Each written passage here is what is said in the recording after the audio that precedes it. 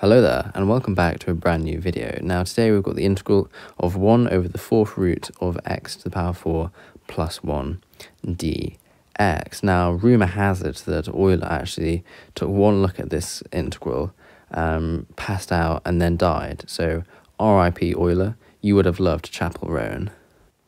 Anyway, so to begin, we're going to be doing a u substitution. I think that's the best way to approach this integral. It's the best way that I've found.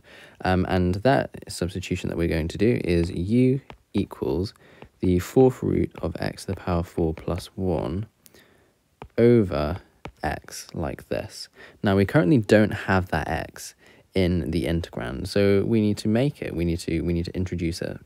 So we're going to change our integral to the integral of x over x times the fourth root of x to the power 4 plus 1 dx.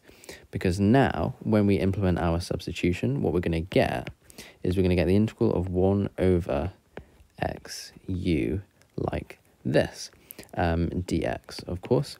Now, we need to deal with that dx right here um, by differentiating the substitution uh, u. So let's do that.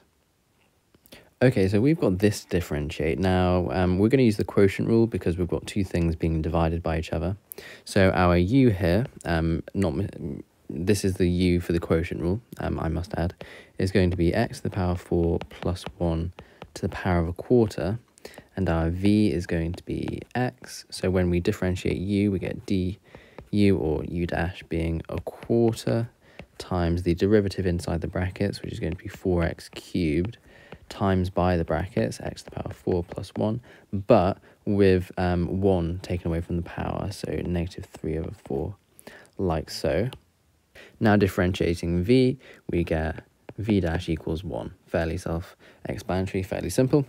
So applying the quotient um, rule formula, we're going to do v times du dx.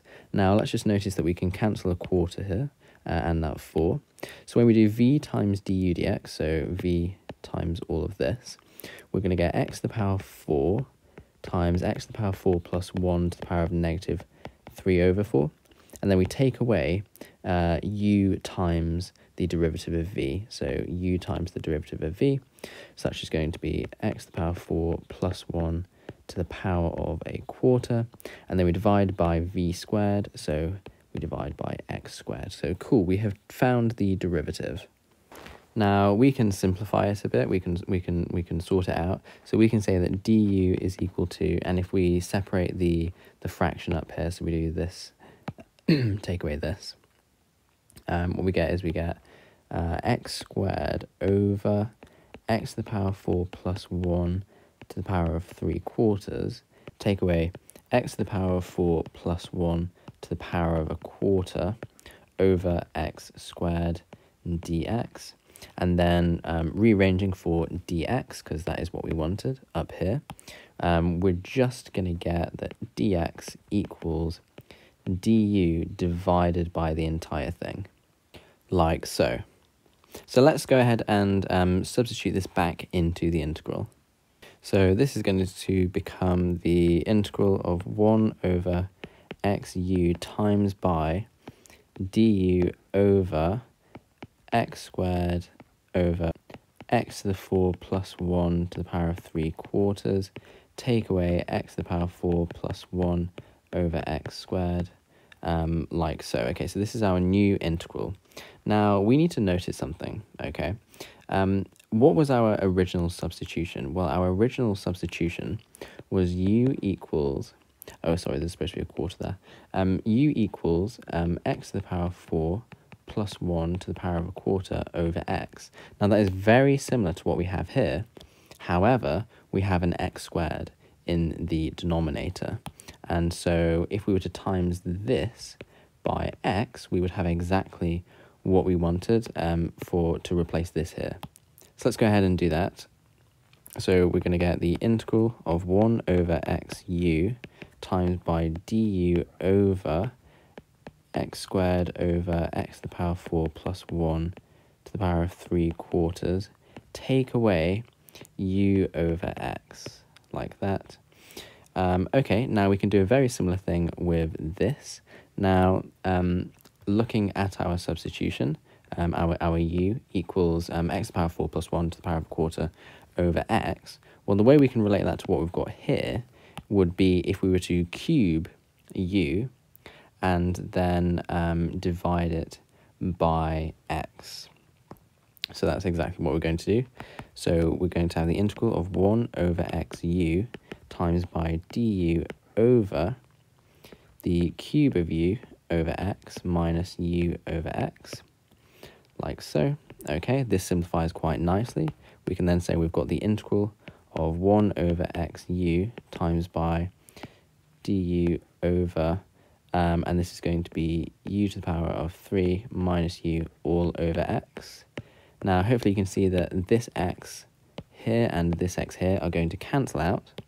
And so what we get is we get the integral of 1 over u times by du over u cubed minus u, which of course gives us the integral of du over u to the power 4 minus u squared. Now, how do we deal with this integral right here?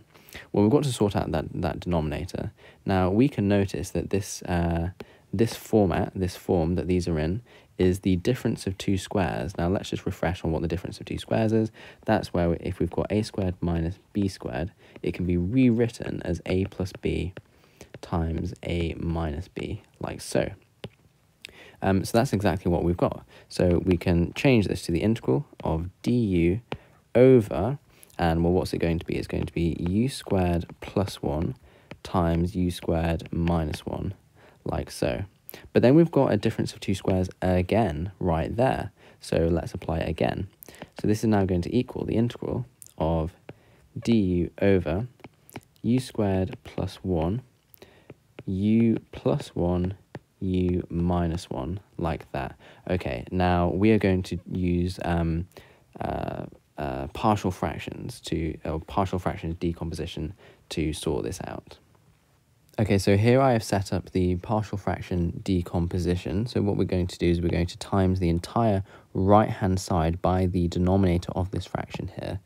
Okay, so that's going to give us 1 is equivalent to au plus b times u plus 1 u minus 1 plus c u squared plus 1 u minus 1 plus d u squared plus 1 u plus 1 like so.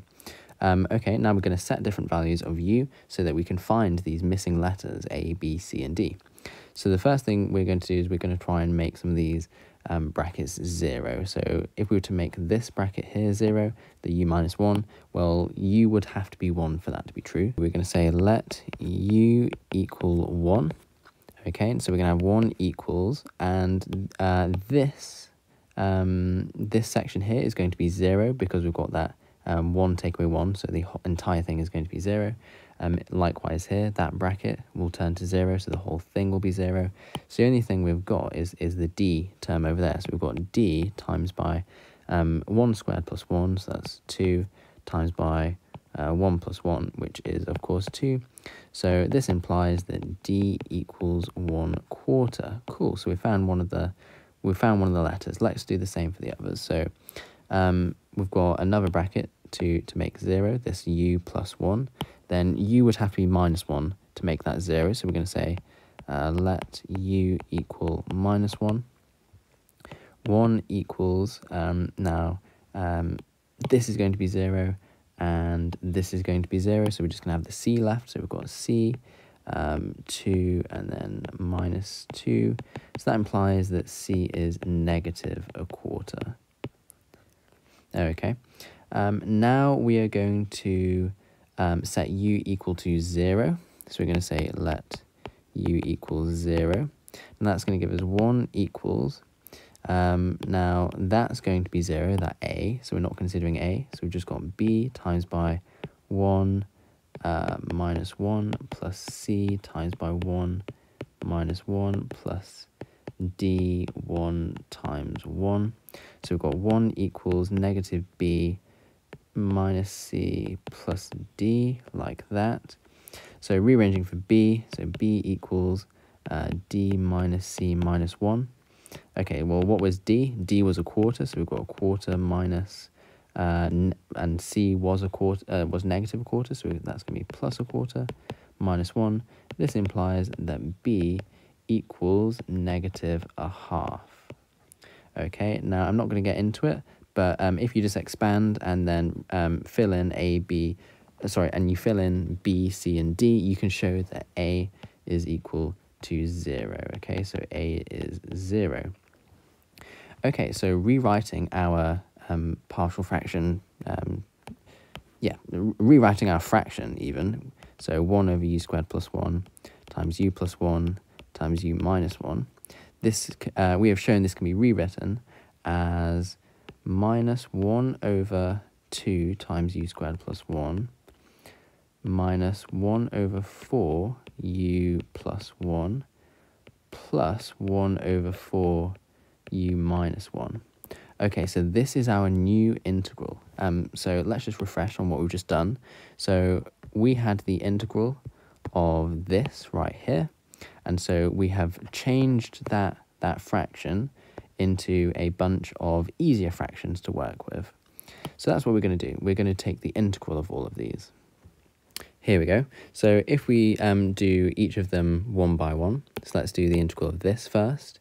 Um, now this is going to give us 1 over 4 times the natural log of u minus 1. This next term is going to give us negative 1 over 4 ln of u plus 1, like so. And then this final term over here, that's going to give us negative 1 over 2 arctan of u. That is a known integral result. And then, of course, don't forget, plus c. Um, right, okay. Now, all we've got to do is undo the substitution. So this will give us a quarter ln of, well, what was, what was our substitution? Well, it was the fourth root of x to the power 4 plus 1 over x. And then we've got that minus 1 there.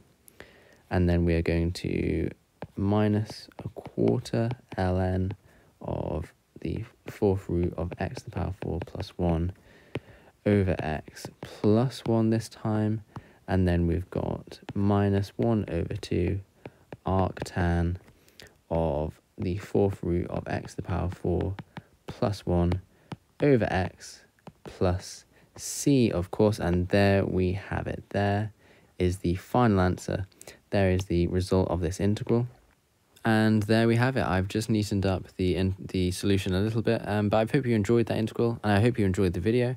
Um, if you want to see more, then please consider subscribing. And also, in a few uh, days or maybe a week, I will be releasing a video on how nuclear bombs work. So that is interesting. Anyway, um, yeah, love you lots. Bye.